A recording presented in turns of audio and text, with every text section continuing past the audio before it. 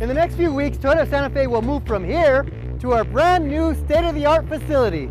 Here's how we're going to move some cars. New Toyotas starting at $25 a week. Savings up to $7,000. Used trucks starting under $20,000. New trucks starting at $62 a week. Used SUVs under $15,000. New SUVs starting at $41 a week. The pre-grand opening sale now at Toyota Santa Fe. Make your move now before we make ours.